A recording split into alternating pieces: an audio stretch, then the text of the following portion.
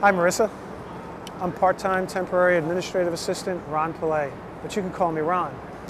I'm taking some time out of my day to invite you to the 30-year Sachem High School Class of 1981 reunion celebration at Danford's in Port Jefferson, Long Island on August 12, 2011 at 8 p.m. with yours truly.